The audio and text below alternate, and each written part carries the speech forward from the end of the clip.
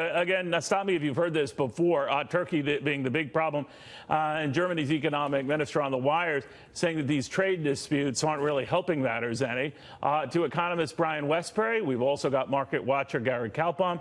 Um, you know, Gary, you can look at this and say, it, it, you know, if history doesn't repeat itself, it certainly does have a habit of rhyming, and this sounds a lot to me like Thailand with the currency and the baht free fall and the Russian ruble uh, fiasco a couple of years after that. But I always wonder whether it's it's justified. I mean, in the scheme of things, isn't this exposure fairly limited, or am I missing something? Well, all we know in the past, usually it comes and it goes, uh, but you never know how hard it's going to come and how far it's going to go. Uh, and this is something we got to watch closely. Neil, uh, Google the words proposed tariffs. Uh, the amount of tariffs in number as well as dollars is pretty darn huge, and that's just the proposed. We do not know what the outcome is going to be. And just remember, all this talk, oh, it's no big deal, the market's doing fine right now. It, tariffs put in place usually take a while before, uh, you know, there's a good reaction to it. And I saw Germany's numbers the other day on manufacturing, and uh, they were pretty darn low based on the fact of uh, the tariffs that are going on right now. So it's something that has to be watched closely. And just because markets are aren't reacting doesn't mean they won't react in the future. You know, Brian, I guess the fear is the contagion. I understand that Goldman Sachs, among those warning that a number of U.S. companies have exposure, I think their thrust yep. was to those who have exposure to this. So they included right. the likes of Wynn Resorts and Morgan Stanley, Micron, NVIDIA, Citigroup, uh, largely because those companies have exposure to Brazil and Russia and India and China, the so-called BRIC countries. But isn't that a bit of a leap?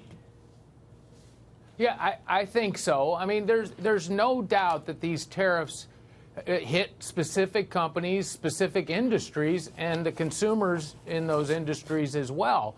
But when I when I look at this, I back off and look at the macro economy, and if you look at the, the tariffs, they pale in the size uh, when you compare them to the size of the corporate tax cut. and one of the things that's I think hurting the rest of the world is that the United States has now reduced its corporate tax rates to levels that are competitive. Um, the, we, we allowed other countries for years to, to grow uh, at our expense. And now, by cutting regulation, by cutting taxes, by putting pressure with tariffs on them, uh, we're hurting them more than, they're, than we're being hurt.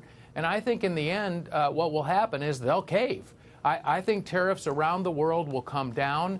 And I, and I look at the end result of all of this, even though people are fearful today, as being a real positive, not just for the U.S., but for the global economy.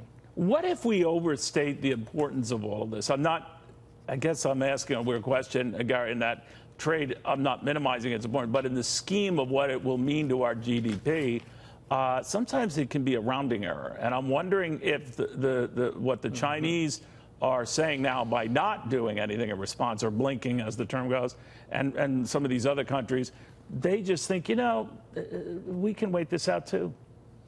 Well, look, I agree on one thing. We have a $20 trillion economy here. Uh, China is pretty darn big. And we're talking Turkey, I think they're only about 1 trillion. So, yeah, I, I think you have a darn good point there. But it's also about what is the possibility of next? And what I mean by that is we've had easy money for a long time. We've had strong stock markets for a long time, which helped the wealth effect for a long time, which has helped the economy if that unravels because of something, you never know what the catalyst can be, the you know what can start rolling downhill. That's what I'm always worried about, and the fact that it's been 10 years of easy money, really no big bear markets out there, and I just do not know if this will be uh, the trigger for something that's going to be, uh, you know, hurtful, harmful to the economy. And I keep my fingers crossed that Brian is uh, 100% correct, and this is going to be a fly on an elephant's you know what. Well, Brian is always 100% correct, by the way, just a footnote there. But Brian, I, I, am curious about one thing, and help me out with this: this notion that. Um, you know, cooler heads prevail. We apply that to trade. We apply that to frictions with currencies and and responding in nasty uh, sort of tones. Um, but it, it, could take a while for those cooler heads to come, right? So, so does that worry yeah, you? That even if it goes the way you say, Um, in the interim, there's quite a beating to take. Well, a- absolutely, especially for. I mean, there, there's no doubt when you when you put a tariff on a specific industry, a specific product, there are consequences for some of those companies.